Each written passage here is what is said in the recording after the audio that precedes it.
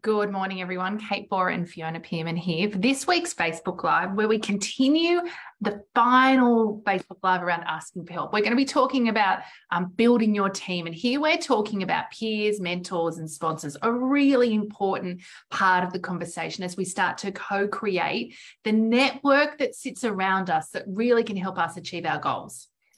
Yes, I think this is a really interesting one because when we think about asking for help, you know, we often make it much bigger story than it needs to be. And actually, we've already got a lot of people in our world who could be incredibly helpful and would actually more than would be so willing and so happy to help us. So, starting to think about who is in my world already and who might I need to bring in for me to really uh, deal with some of the challenges and for some of the things that I've got going on.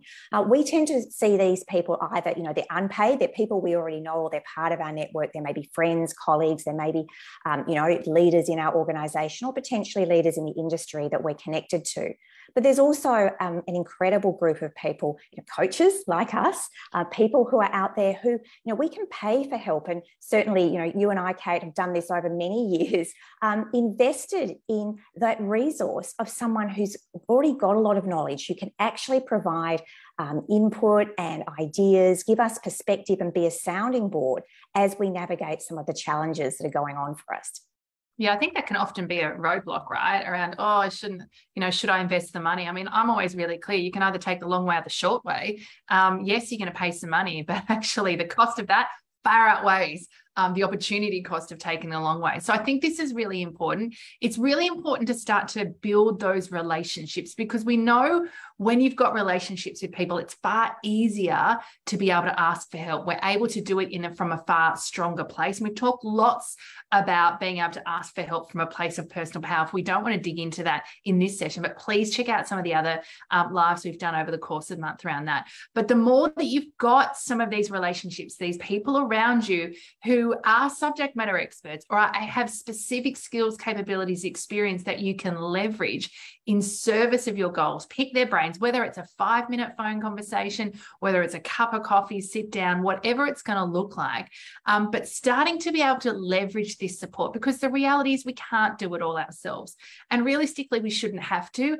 And on top of that, organizations like us to collaborate, right? Is a capability that is rewarded in organizations. So we need to start to build these relationships. We're often good at doing it in our organization, right? We work with people on projects, we know people across our organization. We're often better at doing that. Um, we're often not so great at keeping those relationships outside the organization. So I think it's both. Um, it's being able to, yes, curate that network of peers, um, mentors, and sponsors. Um, and the conversation around sponsors and mentors is a, is a different one that, you know, I think we might even circle back on next week, Fee. Um, but curating that work, network and being then really strategic about those outside the organization and making it a priority. Yes, yeah. There's so many ways in which we tend to under leverage this. We met people, um, they move on, we move on. We can stay in touch with them. You know, as you said, it can be simply as a, a coffee, just asking them some questions, getting some input, getting some ideas. I think with this, as always, it's how do we start? And we'd say, you know, identify three choose three people in your world now, maybe one or two in your current organization and maybe one or two outside. Decide who it is that you would like to do some interaction where you'd like to ask for some help, get their perspective or get their input.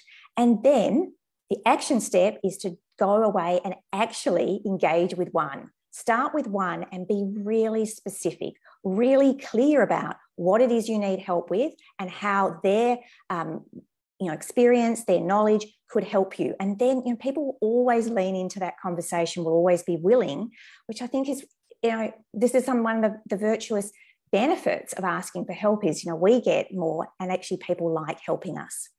Yeah i think um important to start small important to build relationship the more that you have a relationship with these people, the easier it's going to feel to be able to ask for a favor, um, equally them ask for you a favor back, and of course, offering those um, exchanges.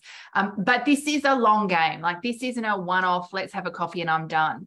Um, the more that we can build a network, curate a network of people in our world. We call it our team. Like, who is on your team? Who is there to support you?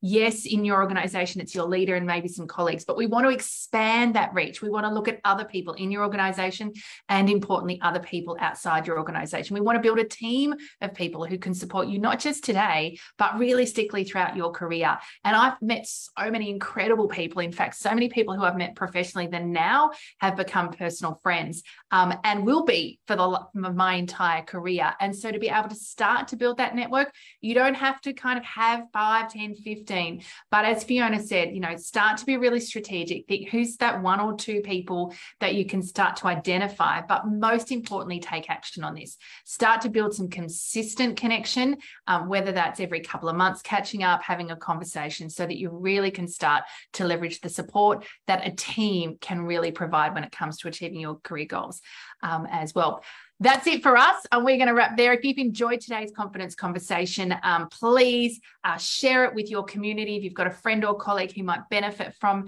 um, from this conversation, we'd love for you to do that. Um, lots of uh, great Facebook Lives, including those um, past ones we've talked about, roadblocks to asking for help um, over on our Core Confidence Facebook page. So like that and dig into those videos there. And if you would like to go deeper with your relationship with Core Confidence, visit our website, Core Confidence.com.au.